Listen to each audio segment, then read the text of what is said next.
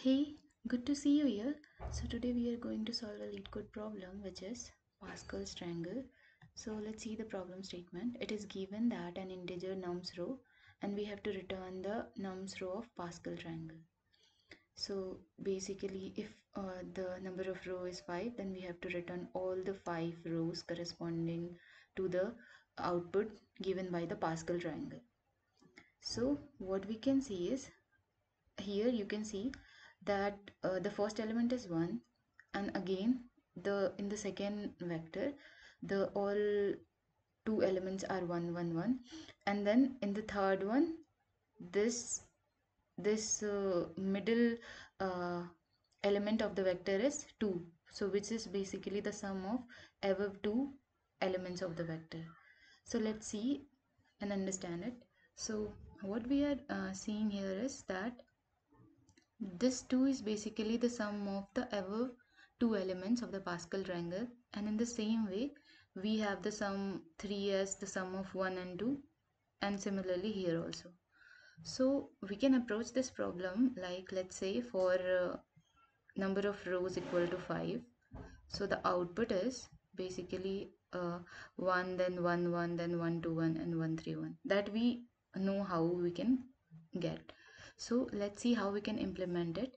So what we are going to do is we are taking a vector v and then what we are doing is we are firstly uh, creating a vector of size uh, vector inside a vector of size um, uh, n equal to 5 and then we are just resizing uh, the vector i with the size of that vector let's suppose the value of i is 0 then we are uh, keeping the size of that vector is equal to i plus 1 in the same way you can see that for i uh, that for i equal to 1 we have a vector of size 2 and i equal to 2 we have vector of size 3 and this goes on. Now after doing that what we are doing is for every uh, element inside that vector whatever the value of i is equal to 0 or i equal to 1 uh, i equal to i we have that element as 1 you can see here that for i equal to 0 or i equal to i we have 1 in the same way i equal to 0 i equal to i we have 1 i equal to 0 and i equal to 2 we have 1 and this goes on for i equal to 0 and i equal to 4 we got 1 in that place so now let's calculate the rest of the part that is this 2 and this 3 and 3 so how we can do is let's take the example of this that I had already written. So you can see here that v of 3 uh, v of 3 1 is basically the sum of v of 2 0 plus v of 2 1 and similarly we can calculate this this also then v of i j is basically the sum of v of i minus 1 j minus 1 plus v of i minus 1 j. And you can see it here. Let's say we have v of let's suppose we are calculating this one. So this is basically the sum of this i minus 1 and uh, i minus 1 and j minus 1 value. And then this is i minus 1 j value. So this is the whole idea to do this. Now let's um, write the code for it. So this is uh, the final code. So what I had done is I had firstly initialize a vector vector int and let's name is Pascal t and uh, and given it a number of rows so that the size of that vector vector int is basically same as the number of rows.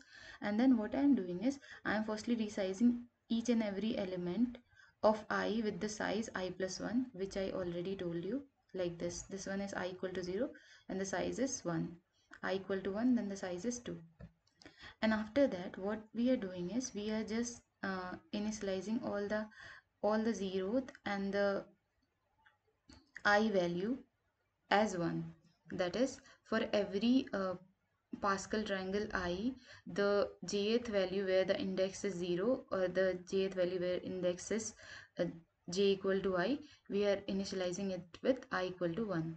Uh, we are initializing it with Pascal t ii or Pascal t i0 as 1.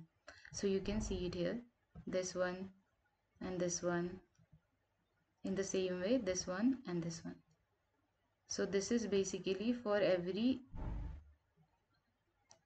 j equal to i and j equal to 0 and after that what we are doing is we are uh, we are iterating our j starting with 1 and less than i and then we are just applying the formula that is uh, the Pascal triangle value of for each ij is basically equal to the sum of i minus 1 and j minus 1 plus the Pascal triangle i minus 1 and j and at the end we are just returning this Pascal triangle. So this is the whole idea and the process to solve this Pascal triangle problem. Now let's try to run this.